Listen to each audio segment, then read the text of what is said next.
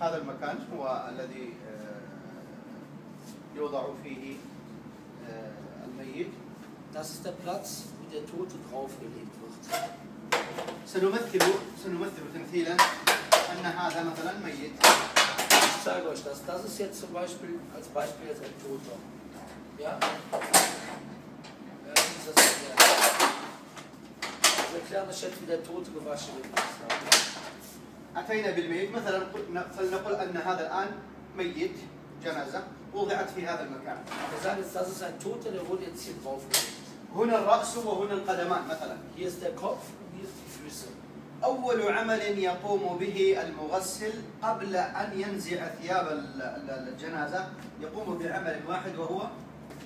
Das erste, was er macht, bevor er die Kleidung auszieht, der, der, der den Tod wascht, das erste, was er macht, ist, وضع ساتر على العوره وضع ساتر على العوره er tut die Aura, also die Geschlechtsteile, erstmal bedecken.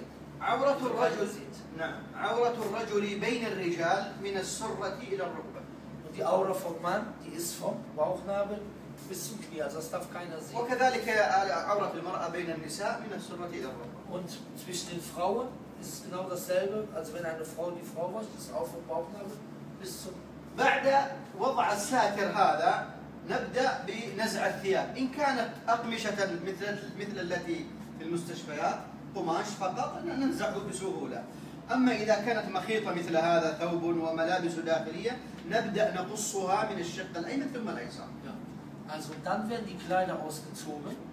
Wenn das solche Sachen sind, die man leicht ausziehen kann, dann zieht man sie einfach aus. Ansonsten geht man mit der Schere, also wenn das so genäht ist wie sowas hier, وصلنا اوفشنايت بعد أن نقصها نجمعها ونضعها تحت ظهره هكذا ثم نرفعه قليلا من هنا ونسحبها سحبا. بهذا يكون فيها رفقا بالميت رفقا بالميت. يعني فصوت من زامف من دين تون نوزين وفصوت اس من زامف من دين تون طبعا المغسل المغسل يأخذ الاحتياطات يلبس القفازات يلبس الكمامات يلبس ال- ال- ال- ال- الساتر الذي يقي ملابسه من البلد هكذا مثلا Also der, der wäscht, der zieht dann so einen Anzug an der zieht solche Handschuhe an. Ja, Sicherheit. عندما يلبس ال- ال- القفاز حتى لماذا؟ اولا آه، حتى يكون حائلا القفاز يكون حائلا بين جسمه وجسم الميت Warum zieht er das an? Erstmal sind die Handschuhe eine Trennlinie zwischen, zwischen dem Wasch, der Wasch, zwischen dem Toten. حتى إذا أراد أن يغسله ويده لامست آه، وخاصة في الاستنجاء Ja. لا تلمس آه، يده مباشرة عورة الميت Vor allem, wenn er unten rum wäscht, damit er nicht sofort also im, im Geschlechtsbereich den Toten dann berührt. طبعا في الاستنجاء الاستنجاء يلف المغسل على يده خرقة هكذا. يقف يقف المغسل على يسار الميت.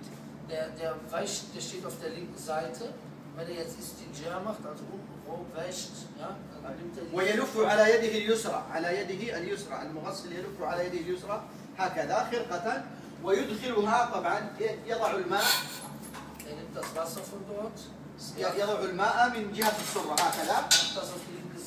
ويدخلها من جهة الركبتين ويبدأ بتنجية المنطقة العلوية ثم منطقة الدبر في الأسفل وينظفها تنظيف جيد ثم يخرجها مباشرة لا يصعد بها في أعلى العورة ينظفه تنظيف جيد ويخرجها ويتخلص ويتخلص منها Also macht erstmal oben und dann unten am, am After herum, dass er das dann sauber macht.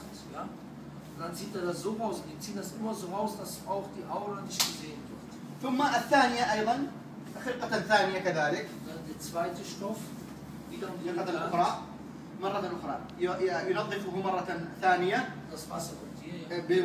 والماء يصف طبعا اذا جاء الميت لينا لينا ليس مجمدا من الثلاجه لينا قبل است... قبل الاستنجاء يضغط على بطنه يعصر على بطنه عصرا خفيفا Also wenn er nicht aus dem Kühlschrank kommt, ja, wenn er nicht kalt ist, sondern er ist noch weich, dann geht er erstmal an den Körper und drückt erstmal hier also den Kot und so weiter raus. أما إذا أتى مثلجا أو باردا فلن يخرج من بطنه شيئا فلا يحتاج هذا. wenn er jetzt im Kühlschrank war der ist schon kalt, dann kommt es im Bauch so ein bisschen raus. كما ذكرنا ينجيه الأولى والثانية والثالثة فإذا نظيف انتهى يقف عند ذلك er. بعد الاستنجاء يشرع في الوضوء يوضئه كما يتوضأ أحدنا للصلاة Danach wird Wudu gemacht. Er wird so Wudu gemacht, also eine kleine Gebetswaschung, wie die Türken sagen, abtesten. Wie wird für das Gebet eine Gebetswaschung gemacht? يغسل كفيه ثلاثا يمض- يمسح شفتيه ومنخريه ثم يغسل وجهه ويده اليمنى ثم اليسرى ومسح الرأس والأذن والقدم اليمنى. erstmal die Füße, erstmal die, Ba- die Hände, dann also die Nase, dann macht er so, da wird kein Wasser in die Nase getan, weil es sonst im Körper reinläuft. Am Mund wird viel Femme أنتم تفعلون هكذا. حسب حسب وضع الجنازة. بعض الجنائز يأتي فمها مفتوحا هكذا. فإذا جاء مفتوحا تأخذ قطن من آه، قطعة من القطن وتبللها بالماء وتنظفه أما إذا كان مقفلا هكذا تكتفي بالمسح. Also wenn der Mund, manche Drücken kommen, der Mund ist auf, dann nimmt man sich so einen Stoff, ja, macht damit sauber. Aber wenn der Mund zu ist, das wird ja dann noch hart, dann beglückt man sich, also man zieht das nicht auseinander, so beglückt es schon wieder drüber zu streichen mit Wasser. ثم نحضر ثم آه، بعد الانتهاء من الاستنجاء والوضوء نشرع في الغسل يغسل الميت غسلات وترية. يغسل الميت غسلات وترية. Nachdem dann Wudu gemacht wurde, macht man ihn mit Russel, also Ganzkörperwaschung, und der wird in einer ungeraden Zahl gewaschen. آه، آه، يغسل بالماء والسدر سنة. يغسل بالماء والسدر السدر هو شجر أخضر له ورق آه، ينشف ذلك الورق في الظل لا في الشمس حتى آه، لا يفقد فائدته. Also die, ähm, der, wird mit Wasser und Sidra wird der gewaschen. Der Sidra ist ein Baum. السدر هو شجرة هو ينشف آه، ال- السدر شجرة نعم لها ورق ورق أخضر نعم. فيوضع في الظل لا يوضع في الشمس حتى يصبح يابسا. ويطحن ويوضع في في في- ويوضع في الماء ويخض مثل الصابون مفعوله تنظيفا وتليلا للجسد. اذا لم يوجد السدر فبالصابون لا اشكال. لكن اذا وجد السدر فالاولى تطبيق السنة لأنه ورد حديث عن النبي صلى الله عليه وسلم ان ان ان يغسل الميت بالماء والسدر. Weil seine Hadith vom Propheten, da muss man die Sunna praktizieren. Dass der Tote mit Wasser und mit Sidr gewaschen. آه، فيكون الترتيب إذا آه، يكون الترتيب الغسل بالماء والسدر، فإذا لم يوجد السدر بالماء والصابون، فإذا لم يوجد الصابون بالماء القرح العادي، فإذا لم يوجد الماء بالتيمم وهكذا. Also es ist folgendermaßen, man macht mit Wasser und mit Sidr, das ist das Beste. Das zweitbeste, wenn es kein Sidr gibt, mit Wasser und Seife. Wenn es keine Seife gibt, nur mit Wasser. Und wenn es noch kein Wasser gibt, dann Tayammum.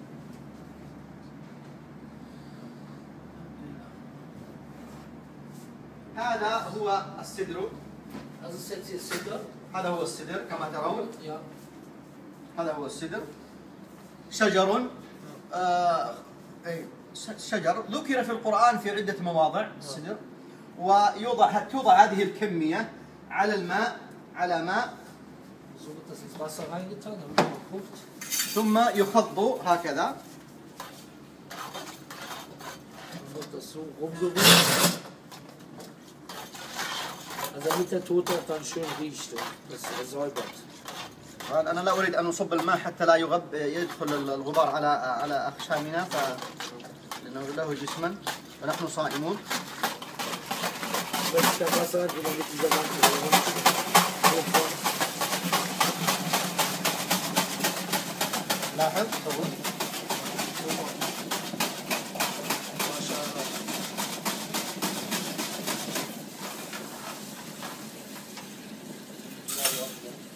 نفس له رغوة. بهذه الرغوة كما ترون الآن يغسل رأس الميت كاملا. ثم يغسل شق الميت اليمين الشق الأيمن كاملا. ثم الشق الأيسر كاملا. كما ترون.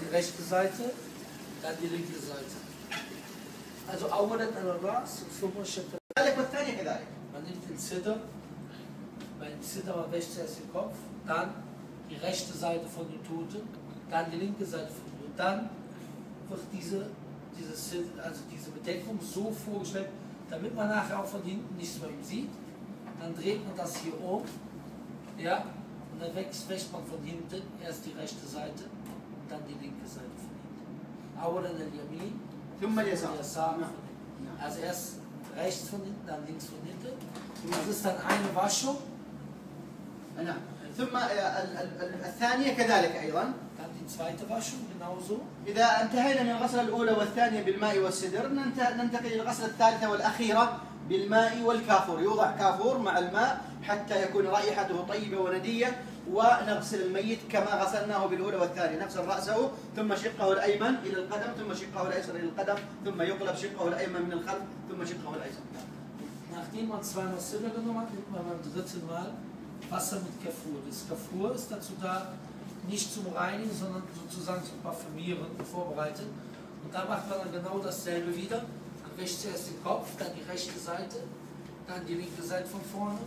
Dann dreht man den wieder um und passt vorher auf, dass hier dieses schön seine, seine Geschlechtsteile von hinten bedeckt. Dann die rechte Seite von hinten und die linke Seite von hinten. كذا نكون كذا بهذا قد انتهينا من غسل الميت اولا است... آه، آه، نجيناه في, في الاس- و غسلناه في الاستنجاء ثم وضعناه كما نتوضأ للصلاة ثم غسلناه ثلاث غسلات هذا في الميت الذي سليما ليس فيه آه، جروحا وليس فيه مرضا wir fertig. Das heißt, erstmal Istinja, dann Wudu, okay? Und dann dreimal Russel. Zweimal mit Sidr, einmal mit Kafur. So, das ist für den Toten, der sozusagen normal ist, wo sein Körper nicht mit Wunden versehen ist, etc.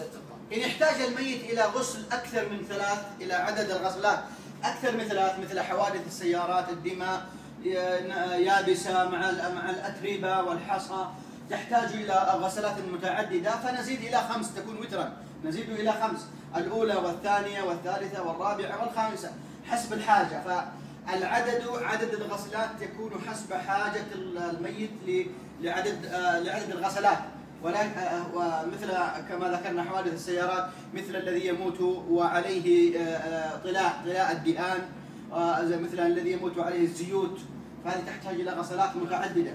Ja, und es gibt halt Spezialfälle, wo er mehrmals gewaschen wird. Ja, das heißt, wo er mehr als dreimal Russel bekommt.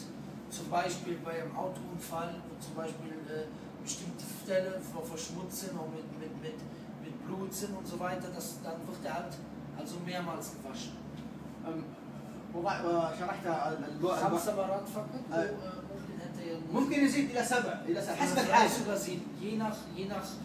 nach äh, Bedürfnis. الضابط في هذا هو الحاجة. احتجت إلى أكثر من ثلاث تزيد إلى خمس، لا لا تقل اربعه تزيد إلى خمس. احتجت إلى أكثر من خمس تزيد إلى سبع، وعادة هو عادة الميت ينظف بالثالثة وينظف بالخامسة إذا كان من أصحاب الحوادث مثل البويع الب- ال- ال- الذي الطلاء الذي يكون في الجسم ومثل الدماء وهذا يحتاج إلى ويكفي الخمس الأولى والثانية.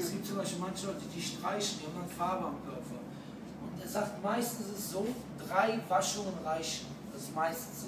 Aber es gibt zum Beispiel manche Leute, die vielleicht Wände streichen, die haben dann die Farbe am Körper und da braucht man dann vielleicht fünf Waschungen, wenn nicht dann sieben, je nach Bedürfnis. Aber immer ungerade Zahlen. وكما ذكرنا ان هناك من من الحالات المرضيه الح- الرجل المريض او المراه المريضه جدا وجسمه لا يتحمل ال- الغسلات المتعددة فيغسل غسلة واحدة فقط يرش عليه الماء من اليمين ويرش عليه من اليسار ويقلب برفق برفق كثير ويغسل من الخلف أيضا واليمين ثم اليسار برش الماء رشا فقط لا يدعك. Manche haben solche Hautprobleme, die werden dann nur einmal gewaschen, dann wird das Wasser nicht so gerieben, sondern einfach drüber gespritzt. Einmal. بالنسبة لحالات الوفاة الحوادث المكسرة يده والمكسرة رجله فإنه إذا كان الكسر مفتوحا يجبر يعمل له جبيرة ويوضع, ويوضع عليها بلاستيك من البلاستيك حتى يمنع وصول الماء. ثم بعد ذلك آه، سواء في الرجل في اليد في الفخذ يعمل له جبيرة ثم بعد ذلك يغسل. Wenn jetzt einer solchen maftuha, مفتوحا ja, wenn also jetzt einer eine offene Wunde hat, dann wird da zum Beispiel so Plastikbandage drüber getan, ja, und dann wird also والباقي يغسل عادي نعم يمسح Rest wird dann normal gewaschen. نعم كذلك إذا كان آه إذا جاء في في الحوادث رأسه مفتوحا الرأس مفتوح جاء آه عجلة السيارة على على الرأس وكسرت رأسه كاملا ففي الحالة هذه نلف الرأس بالبلاستيك ونمنع وصول الماء إليه ونغسل بقية البدن. فإذا انتهينا ننزع ذلك الكيس ونضع القطنة والجبيرة الأخيرة جبيرة كاملة Ja, wenn es solche den Kopf kaputt hat, so ein Autounfall, der Kopf ist aufgeplatzt, da wird dann auch etwas rumgetan, der Rest wird gewaschen, dann am Ende wird das abgenommen und dann wird dann dort wie ein Verband, also mit dem Kopf drauf. قد ياتي الحادث السياره الاصابه تكون هنا ويخرج الامعاء الامعاء هذه تخرج هنا وهنا فقبل ذا ويكون هنا سليما وهنا سليما وهنا الاصابه فنجمع الأشياء داخله ونأتي بقماش آه، مثل هذا ونلفه عليه لفا جيدا ونضع البلاستيك ونربطه من هنا ومن هنا ونغسل الأعلى ونغسل الأسفل. Zum jemand, bei ihm kommen die Eingeweide raus. Ja? Wird das halt so festgebunden mit, äh, mit, so, mit einem Stoff festgemacht und der Rest wird dann von oben gewaschen. هذا فيما يتعلق بكيفية بكيفية الغسل وهناك غسلا مختصرا غسلا مختصرا لأصحاب الحالات المرضية وللوقت الذي يكون قصيرا في جنازة مثلا أنت تريد أن تصلي عليها العصر أو الظهر وبقي عشر دقائق على على الإقامة أو على الأذان فماذا نفعل؟ يعني نغسله الثلاث غسلات بحركتين فقط بحركتين فقط. Also, Es gibt auch manchmal eine Russel Muchtasser, das bedeutet eine gekürzte Russel. Das wird dann zum Beispiel gemacht, wenn jetzt gleich zum Beispiel das Gebet ist und da soll noch über ihn gebetet werden, dass man dann zum Beispiel etwas zügiger das macht. Der wird dann mit zwei, ماذا قلت في النهاية غسل أنت قلت في النهاية إذا كان إذا كان الوقت قصيرا إذا كان الوقت قصيرا بحركتين نفس حركتين genau wird dann also mit zwei Bewegungen أي نعم طبعا أنا الذي شرحته شرحته الآن الغسلة الواحدة آه، فيها حركة والحركة الثانية كل غسلة فيها حركتين ثلاث غسلات فيها ست حركات تقلب الميت وترجعه Also im einen haben wir eben gesagt, ja, das sind immer sechs Bewegungen, dass man hoch und runter macht, ja, normalerweise man dreimal. Die gibt es dann zwei Bewegungen. لكن الغسل الذي فيه استعجال نرفع نغسل الميت هكذا اليمين ثم اليسار اليمين ثم اليسار. نقلبه قلبة واحدة اليمين من الخلف ثم اليسار اليمين ثم اليسار. ويبقى كما هو يبقى كما هو. ونأتي بالكافور ونغسل اليمين ثم اليسار ونرجعه هكذا. ونغسل يمينه ويساره.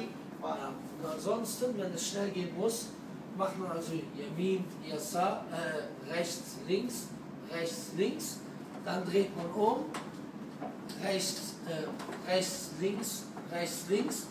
Dann nimmt man Kafur, er bleibt so, wieder rechts, links und dann vorne rechts. إذا عند هذه الحالة أولا بالكفور الذهب لا لا إشكال أن تبدأ باليمين ثم اليسار نعم. كان اليمين من الظهر كان اليمين من الخلف لا إشكال فيه نعم لقول النبي صلى الله عليه وسلم وابدأنا في الحديث وابدأنا بميامنها ومواضع الوضوء منها فأنت بدأت باليمين ثم اليسار. ولا إشكال عن بدأت من الخلف أو من الأمام. لا إشكال في ذلك. أيضا هذا هذا أيضا هذا هذه الكيفية لأصحاب الأمراض والجروح والكسور. بها كسور كثيرة بها كذا. لا يعني مشقة عليه أن تحركه وتقلبه وترجعه وتقلبه. Wenn einer besonders viele Wunden hat, ja, zum Beispiel im Körper, dann kann es manchmal schwer sein, kann es manchmal schwer sein, wenn man ihn immer wieder umdreht. Ja, dann würde man das auch so machen mit zwei Bewegungen und nicht mit dem immer wieder umdrehen, sondern man macht ihn dann vorne erstmal und dann ولكن الميت الميت الميت الطبيعي السليم ليس به كسورا سليما فهذا تغسل كل غسلة مستقلة لوحدها كما ذكرنا في السابق. نعم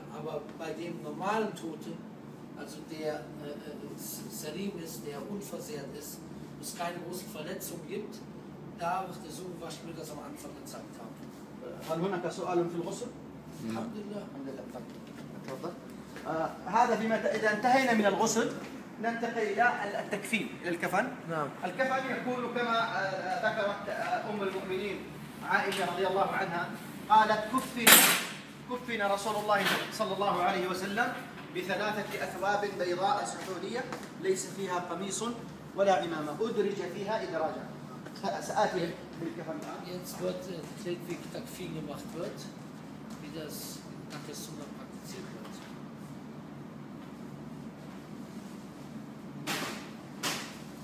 Macht man da schon. الأكفان تختلف في المقاسات والمقاسات هنا المهمة فيها العرض عرض الكفن.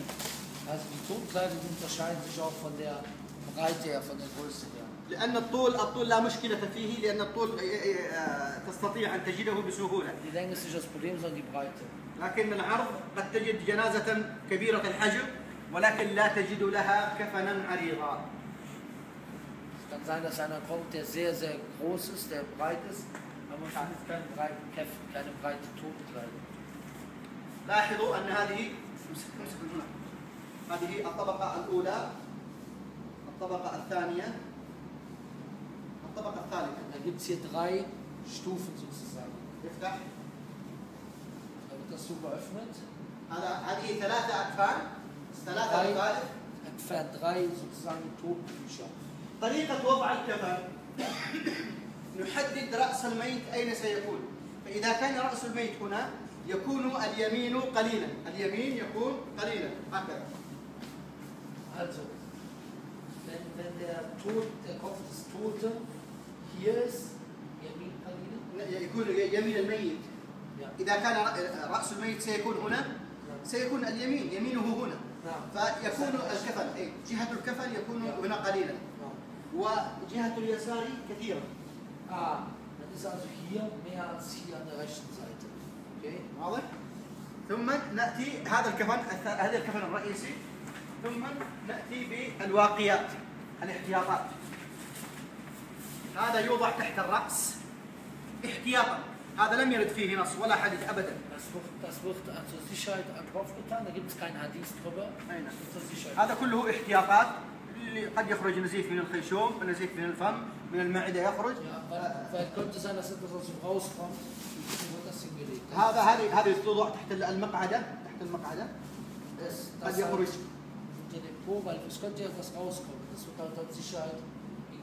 أيضا يوضع هذا الحفاظ أو التبان نحن نسميه تبان.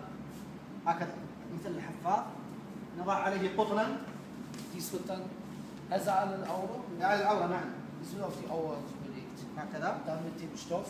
هذا هنا أيضا احتياط أكثر وخاصة إذا كانت الجنازة يخرج منها نزيفا يخرج منها وتخشى أن تذهب بها إلى المسجد الحرام تذهب بها إلى المصلى وهو يخ- تضع مثل هذا أما إذا كان باردا مجمدا كل هذا لا يحتاج Und das ist alles, alles nur so Sicherheitsvorkehr, weil vielleicht trägst du die Janaza, im Mesche Haram, dann kommt was raus. Aber wenn diese Janaza bärig ist, also wenn der schon kalt ist, der Körper, dann brauchen wir das alles nicht. نعم هذا هذا المسك الابيض المسك الابيض يوضع على الكفن هكذا Das ist weißer Mist, der gut riecht, der wird auf den Käfen gelegt.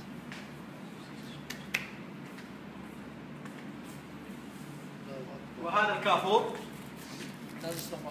الكافور يوضع في مكان يوضع في الكفن ويوضع في الغسله الاخيره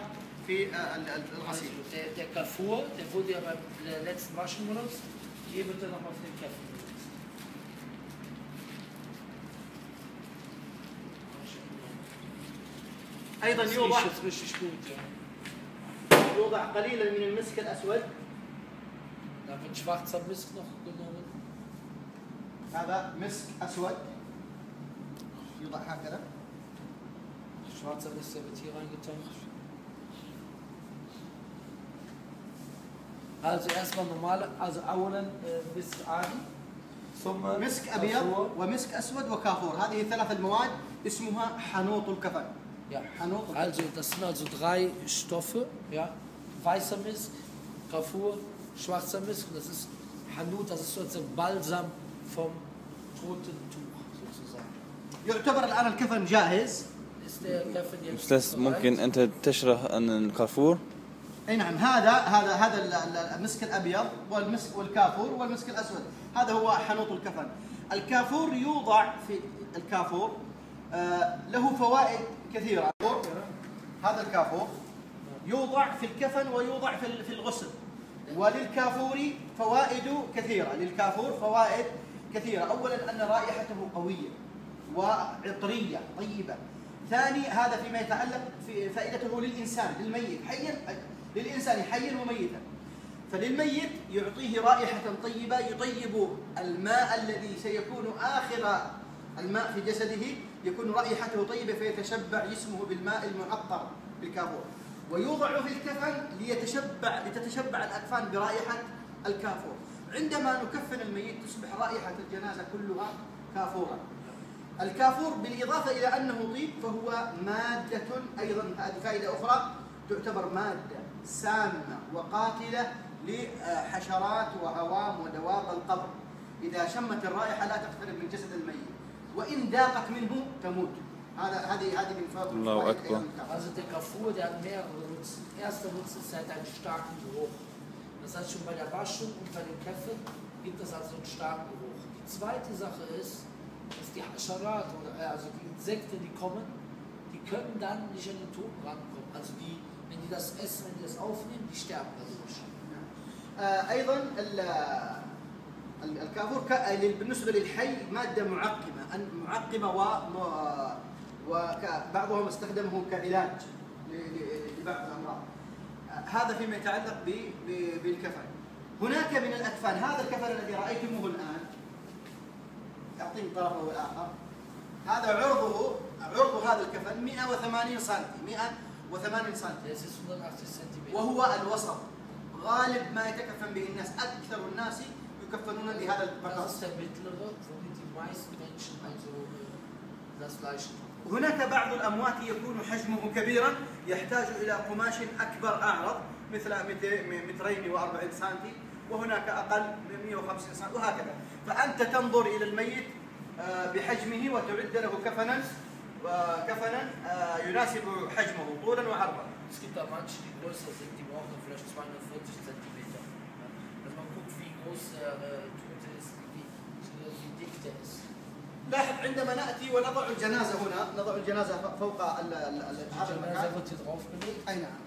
نبدا وطبعا ياتي وعليه الساتر وعلى جسمه الساتر Er kommt und er ist bedeckt, seine Aura, also seine Geschlechtsteile sind bedeckt, die darf keiner sehen. اول عمل نقوم به نفعل هكذا وندخل هذا الحفاظ من تحت الساتر نرفع الساتر قليلا وندخله هكذا Also man hebt dann das, womit bedeckt ist.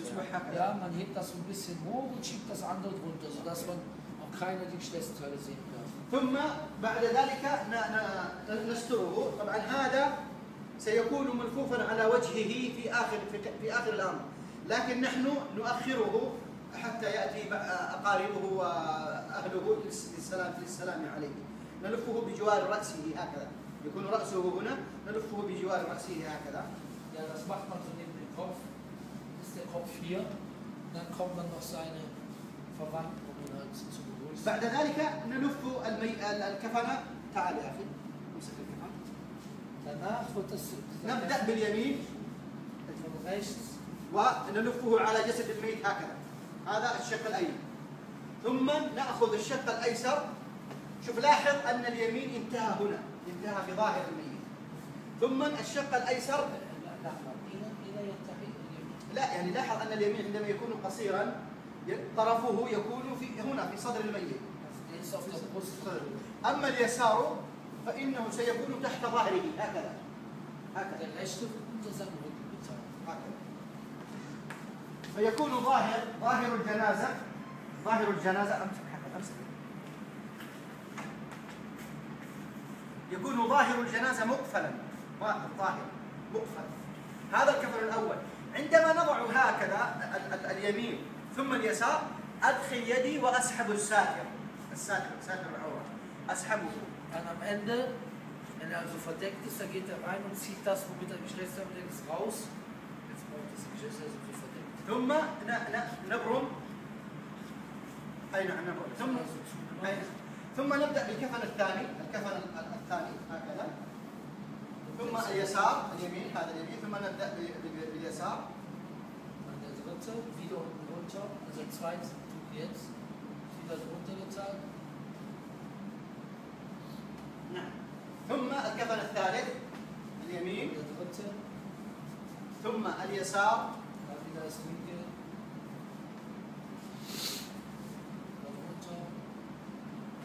نبرم نبرمه نبرمه هكذا برم Und جيد das so zusammengetan.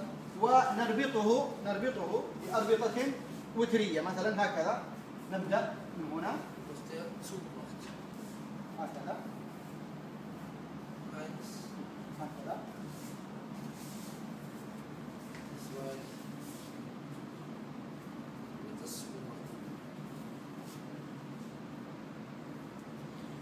نربطه أربطة وترية واحد اثنان ثلاثة أربعة خمسة خمسة أربطة أو إذا كان طويلا واحد اثنان ثلاثة أربعة خمسة ستة سبعة Also wird wieder ungerader Zahl zugenommen. Eins, zwei, drei, vier, fünf. Wenn es mehr ist, halt, wenn er zu groß ist, dann sieben. طبعا نربطه بأربطة كله إلا الرأس نؤخره ثم نكشف عن رأسه نكشف Außer der Ka- Kopf, der wird dann aufgemacht. نكشف عن رأسه هكذا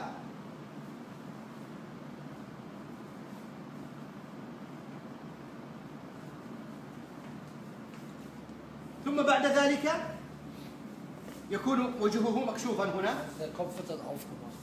ونسمح للناس بالسلام عليه أهله وأقاربه وجيرانه ومحارمه زوجته وأمه وبناته يسلمون عليه ويودعونه ثم بعد ذلك نقفله Und dann erlaubt man halt der Familie, ihn zu begrüßen noch und sich zu verabschieden.